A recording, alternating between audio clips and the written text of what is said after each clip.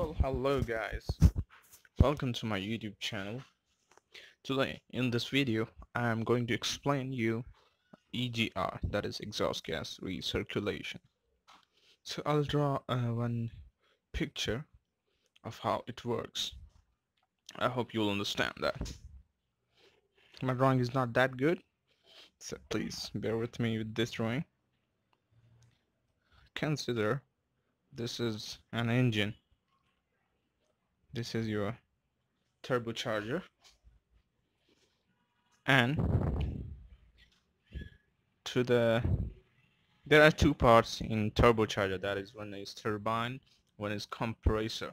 So compressor part is pushing air from atmosphere and giving inside the inlet manifold. And the turbine part part is rotating with the force coming from the exhaust gases coming out of exhaust manifold. And those exhaust gases are then went to further process. This is our air cleaner. AC is our air cleaner.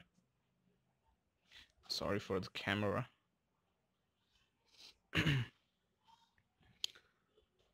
So what exactly EGR does in this case. In normal case, uh, air comes from air cleaner, filter, filters here, comes inside the compressor of turbine, uh, turbocharger and then goes to engine. Although there are further processes are there for cooling of charged air cooler, but the to uh, simplify this drawing I'm not I haven't shown that to you here. Then these exhaust gases comes out of the engine go, rotates that turbine of the turbocharger and then goes out. And now here comes the EGR in the picture. EGR exhaust gas recirculation what is it is doing is is taking some amount of exhaust gases cooling it in the EGR cooler and then again passing it to the inlet manifold through air cleaner passage pipe. So why we are doing it this is the outline how it looks EGR how it works how it takes air how it take exhaust gases, how it uh, inserts its gases in air cleaners, clean air. So in this video, I'm going to explain to you why we do that.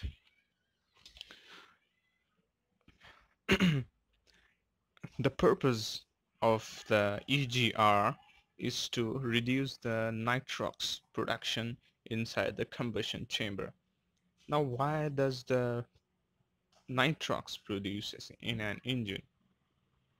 So the reason is there is a nitrogen present in the air inside the combustion chamber. But as the combustion takes place, temperature starts rising.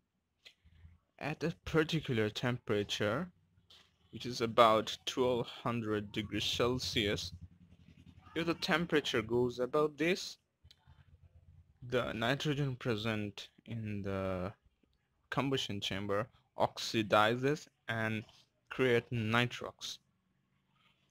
And that is harmful gas. And we need to reduce that uh, production of that gas because our new norm according to our new norms the nitrox limit has been reduced to previous mm, emission to emission rule. So in every step we are reducing step by step. And like in tier 1 tier 2 tier 3 tier 4 so the nitrox limit here was this much and this much and third this much and in fourth very negligible. So the, the as our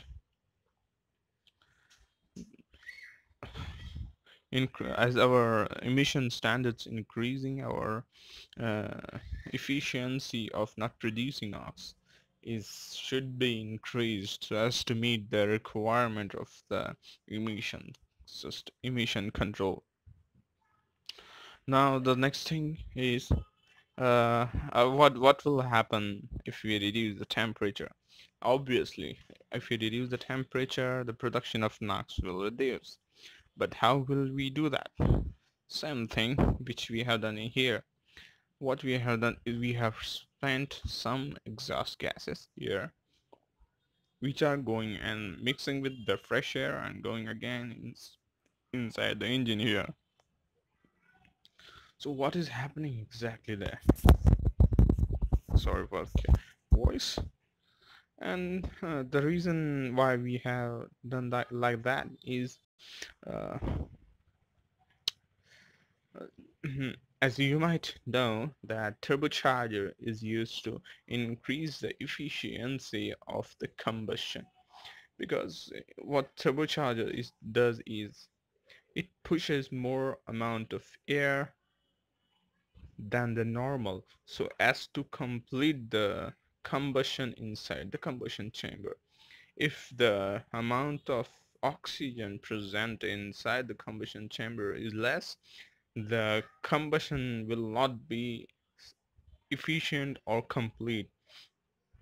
So when we send uh, exhaust already burned gases in means exhaust gases those exhaust gases mixes with the fresh air and reduces the amount of oxygen present inside the combustion chamber.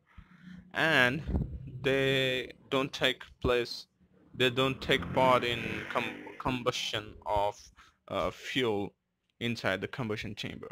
Instead they they absorb the heat from that combustion of fuel and uh, reduces the temperature of the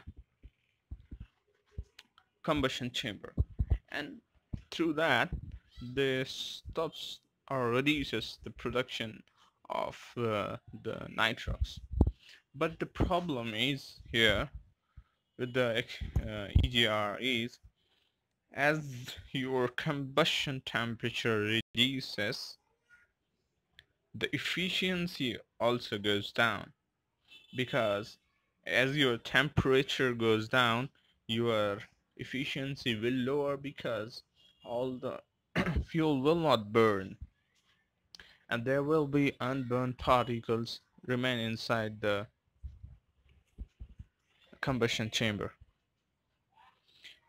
So those unburned gases gets out from the combustion chamber and those are called as soot the black smoke you might have seen coming out of silencer or muffler of an engine or a truck or a car. So there is a, limit to that also. So to control that we need to add DPF in this uh, exhaust system which will I'll add like this. It is totally it is consists of DOC and DPF here DOC is called as diesel oxidation catalyst. And this is diesel particulate filter. So what happens? Exhaust gas goes through this DOC and then passes through DPF diesel particulate filter. So what happening here is the exhaust gases are passing through the DOC which contains carbon monoxide hydroxide uh, sorry hydrocarbons which are harmful for environment.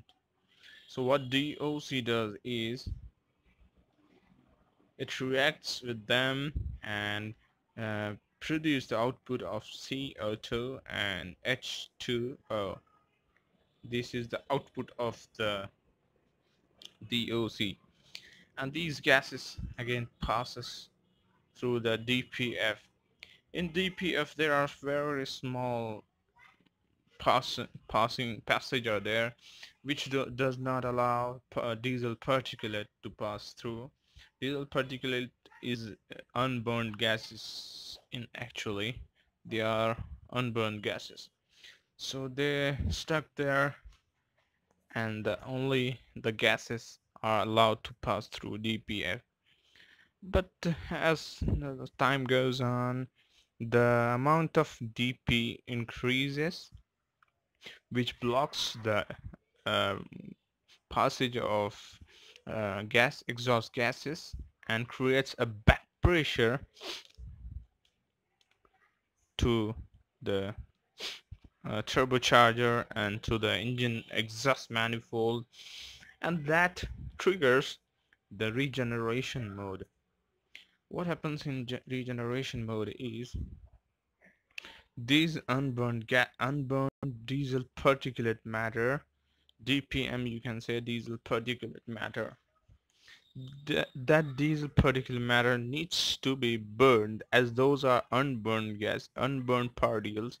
We need to burn them so that it can uh, uh, clear the way for exhaust gases. So how we do that is uh, exhaust gases passes through here and here and like this.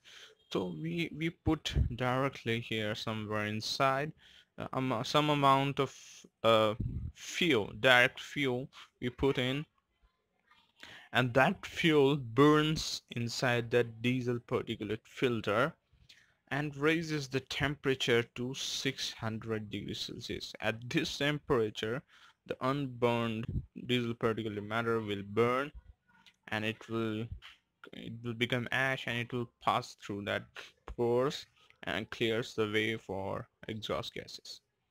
So that was all about EGR and if you want to know about any other uh, system related to engine please uh, please comment in below.